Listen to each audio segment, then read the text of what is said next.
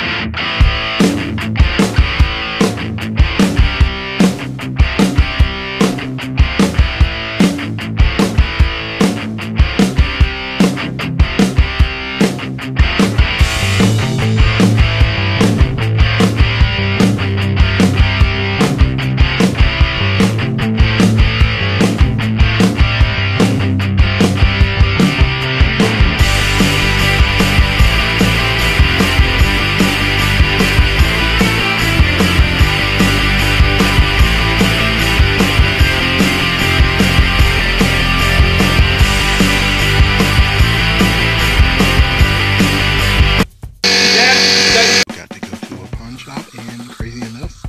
had something that really totally.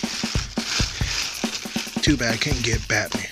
Too bad I couldn't get DC versus um, Mortal Kombat. That was five bucks.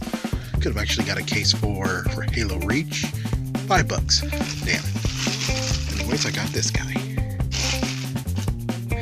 And not for this price right here, which it says the other. end. I got it for $25 flat. Only messed up part is. This is the second one I actually have to replace. And as you can see, the artwork is also wrecked.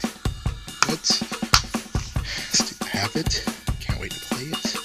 Gonna clean it up and then. Well, anyways, thank you viewers at home and